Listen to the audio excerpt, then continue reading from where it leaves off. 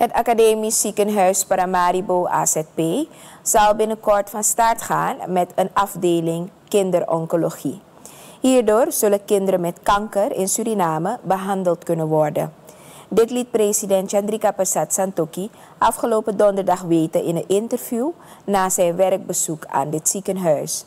Hij zegt dat ondanks alle uitdagingen binnen de zorg er moeite wordt gemaakt om de specialistische zorg te optimaliseren.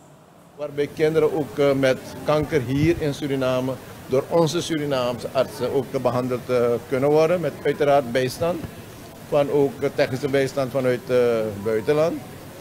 We hebben ook gezien namelijk dat de grote plannen, ondanks die druk en ondanks die uitdaging, door kunnen gaan. Want volgende maand, oktober, vindt dan die grote operatie in Suriname plaats met technische bijstand vanuit Nederland. Komen Nederlandse artsen samen met Surinaamse artsen starten met de kinderoperaties hier in Suriname.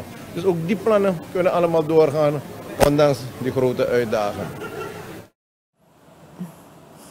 Het staatshoofd gaf verder aan dat met alle vernieuwingen en renovatie die gaande zijn binnen het AZP, dit ziekenhuis haar oude status weer kan krijgen.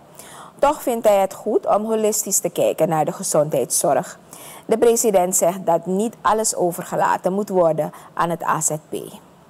Alles overlaten voor academisch ziekenhuis en dat alle patiënten hier moeten komen, dan is dat ook niet goed. Dus wij moeten die outreach goed gaan uh, organiseren naar die basiszorg.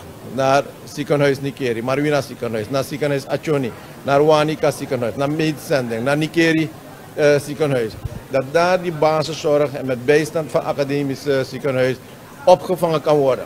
Dat de mensen daar behandeld kunnen worden. En als inderdaad daar niet mogelijk is en men toch hier moet komen, dan moeten ze optimale zorg krijgen. En daar ligt die verantwoordelijkheid van ons allemaal om te zorgen dat die zorg gegeven kan worden met beste middelen, beste apparatuur en beste uh, medische specialisten. Het staatshoofd benadrukte dat de druk op de gezondheidszorg ook afhankelijk is van de mens. Daarom roept hij elke Surinamer op om een gezonde levensstijl op na te houden.